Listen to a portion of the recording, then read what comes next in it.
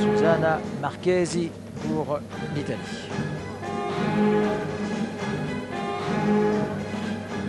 Qui s'entraîne d'ailleurs à Padova, en Italie, au centre national.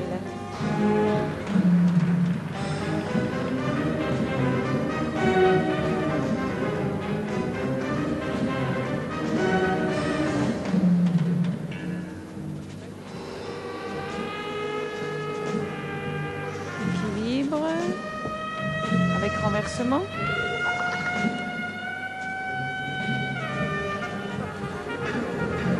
son entraîneur euh, d'origine Bélarussie, qui parle d'ailleurs maintenant très bien italien. Ça fait quelques années qu'elle est dans ce pays.